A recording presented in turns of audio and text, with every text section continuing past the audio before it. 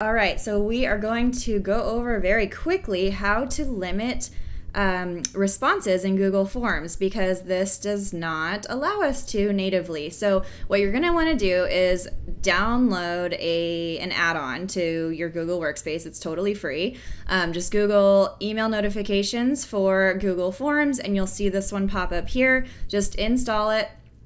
And unlike normal shortcuts or extensions that pop up here, in the browser, it's actually going to pop up inside of Forms. You'll see add-ons here, this little puzzle piece. Um, you'll click that and it's email notifications for Google Forms. And when you click it, it will come up with this menu here and note, create email notification. So what this is, is actually for your registrants. You don't have to do this at all. You can only, if you want to, you can just do limit Google form responses, but it does have these types of abilities, which is kind of cool. Um, but just to limit the form response, that's what we're after right now.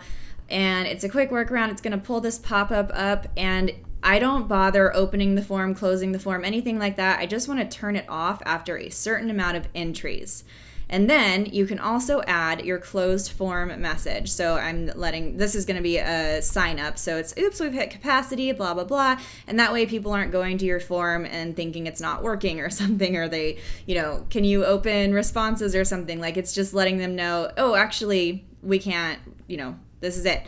So that's that. And then you'll just say save, and then it will remember 28 entries and, or whatever your number is, and that's it.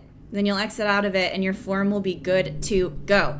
So it's simple, short, sweet, and that's what I like to give y'all. So I will see you next time.